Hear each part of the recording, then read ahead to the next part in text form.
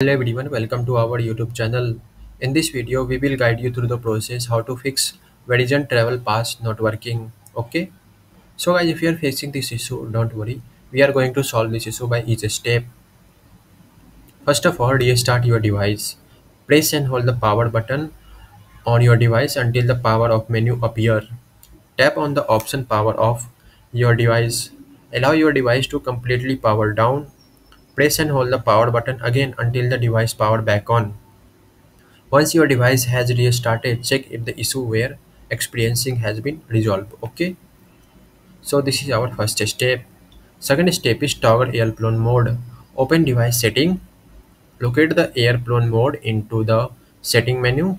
Tap to the switch airplane mode on or off. Confirm the action if prompt. Okay. So this is our second step. So third step is reset network setting.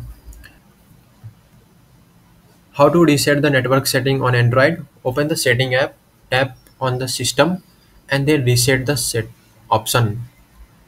Select the reset Wi-Fi mobile and Bluetooth. Confirm the reset process. Okay. And how to reset in the app iPhone?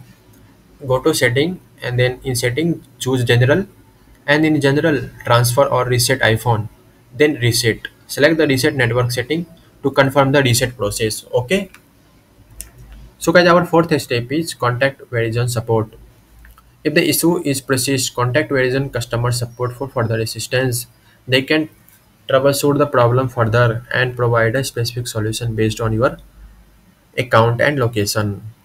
So this is our all step. Thanks guys. Having a nice day. Don't forget to subscribe our YouTube channel.